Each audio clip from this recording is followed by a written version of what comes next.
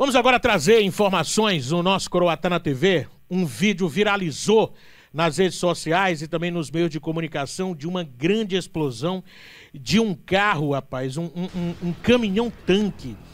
Essa explosão aconteceu na BR 010 entre os municípios de Paraguaminas e Ulianópolis, região sudeste do Pará.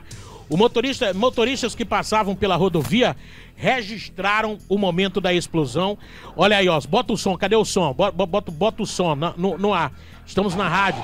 Olha aí o momento, ó. De repente, o caminhão tanque carregado de combustível acabou explodindo.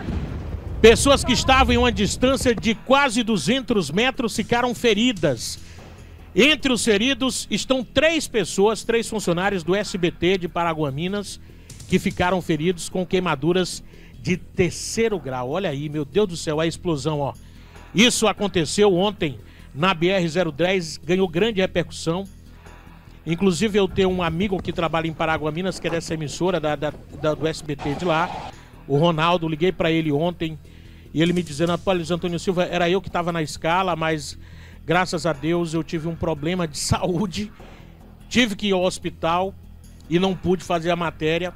E três colegas nossos aqui foi para lá, infelizmente eles, o estado de saúde deles é grave demais, né? Inclusive a repórter, uma menina, tá com quase 100% do corpo queimada.